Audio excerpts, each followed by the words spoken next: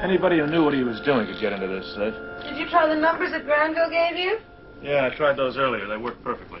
Well, you said it was an inside job. Maybe they had the combination all the time. Just trying to eliminate all the possibilities. Can you check this out for me? Hmm. Yes, I can.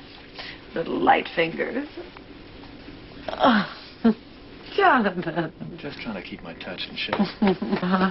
What about the keys to the door? Well, those keys can't be duplicated because of the code numbers. You have to have the right machines.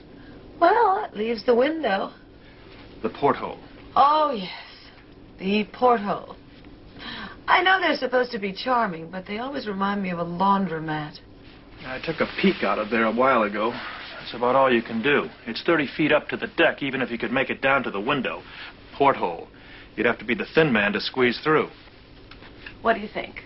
Enough honey to attract the bees? Oh, who knows? They may not be able to see the honey, but the flowers. Oh, that's the cutest thing you've ever said to me, sugar.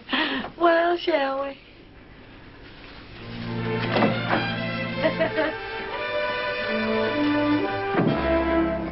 I suppose you noticed some of the icing in Chamberlain's cupcake?